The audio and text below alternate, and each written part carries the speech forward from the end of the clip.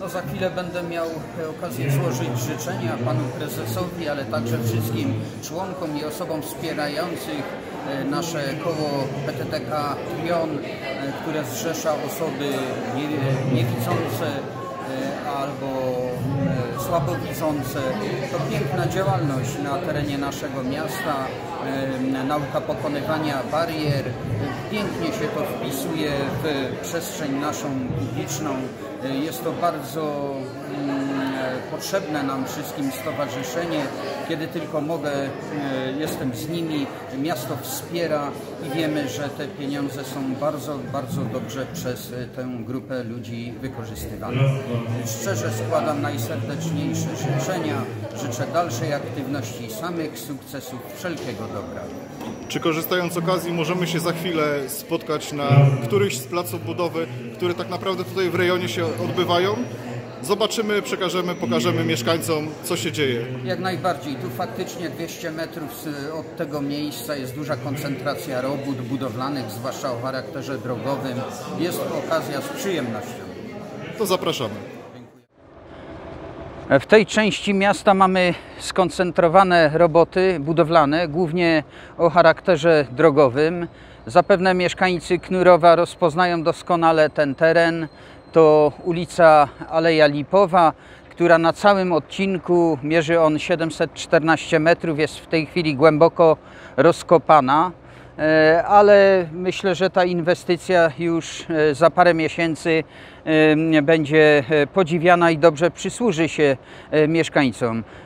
My tutaj, te głębokie wykopy spowodowane są tym, że cała przebudowa ulicy Aleja Lipowa łączy się także z budową i przebudową kanalizacji deszczowej, a ta kanalizacja ma akurat 924 metry, będzie miała.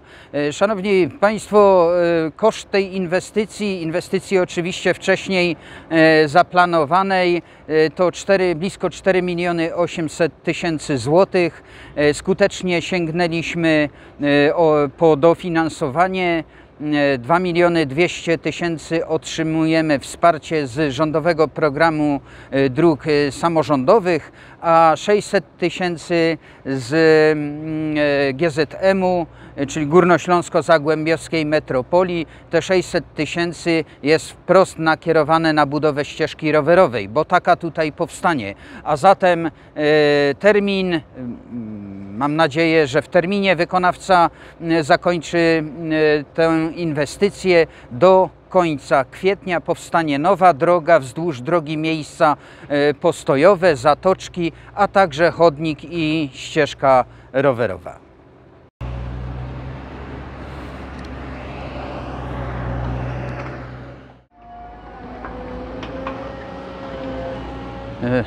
Ten właśnie głęboki wykop pokazuje, jak szeroki zakres jest prowadzonych tutaj robót, a z tym związane uciążliwości, nie tylko dla wykonawców, ale e, tutaj całego e, rejonu. E, Zważcie Państwo, że no, to są te elementy właśnie kanalizacji deszczowej, nie, nieodzowny element całej tej inwestycji, bo woda deszczowa będzie przejęta z ulicy Aleja Lipowa, ale także z terenów przyległych. To osiedle, które, które tutaj powstało, bo już trzeba to powiedzieć, w trybie dokonanym, e, z tego co e, deweloper mówił, to to już jest na ukończeniu. Ja o ile dobrze pamiętam, do końca listopada będą już mieszkania oddane. E, Przypomnę, 160 lokali mieszkalnych, więc to jest bardzo e, ważna, wielka sprawa dla naszego miasta, bo e, wkrótce myślę e, te bloki będą zasiedlone e, głównie przez ludzi młode, e, młodych, e, młode rodziny e, i na tym nam przecież e, bardzo, bardzo zależy, żeby jak najwięcej e, ludzi chciało zamieszkać tutaj z nami w naszym e, Knurowie. Myślę, że te, ta koncentracja robót, ona w dużej mierze oczywiście jest spowodowana również e, tym osiedlem, którego jeszcze nie mamy nazwy, ale to dopiero e, przed nami. Myślę, że już teraz mo mogą się mieszkańcy e, jakby dzielić tu swoimi pomysłami, pewno z tego, na pewno z tego e, skorzystamy. E, Łącznik, który od lat e, funkcjonuje e, w nie najlepszym stanie, trzeba powiedzieć, łącznik między ulicą Lotników a e, Aleją Lipową e, zaplanujemy do wykonania na 2022 rok, bo e, dziś, kiedy już dyskutujemy nad budżetem na e, przyszły rok, chcemy zabezpieczyć środki na wykonanie projektu, na wykonanie pełnej dokumentacji, w oparciu o którą e, w 2022 roku e, chcielibyśmy wybudować właśnie tą drogę, już drogę profesjonalną. Myślę również ze ścieżką rowerową, żeby to wszystko jakoś sensownie e, połączyć i, i ta komunikacja e, właśnie między osiedlem Wojska Polskiego, a jeszcze tym nowym, pięknym, nienazwanym osiedlem em, e, będzie sprawna i będzie dobrze służyła mieszkańcom.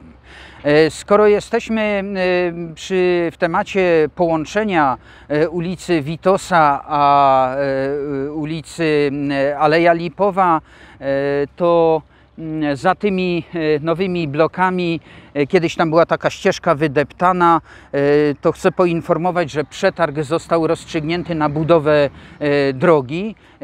O ile dobrze pamiętam, koszt tej inwestycji 600 tysięcy złotych. Wykonawca już przejął plac bud- teren, a zatem jest to już plac budowy.